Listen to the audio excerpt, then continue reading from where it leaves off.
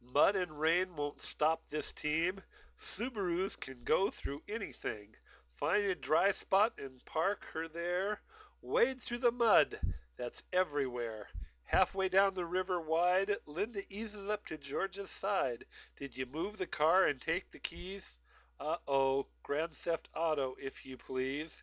Keys in the ignition, a theft invitation. Did Linda and George just make a donation?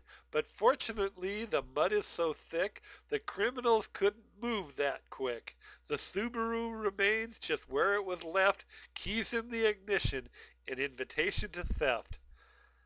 An invitation to Grand Theft Auto Award goes to Linda and George.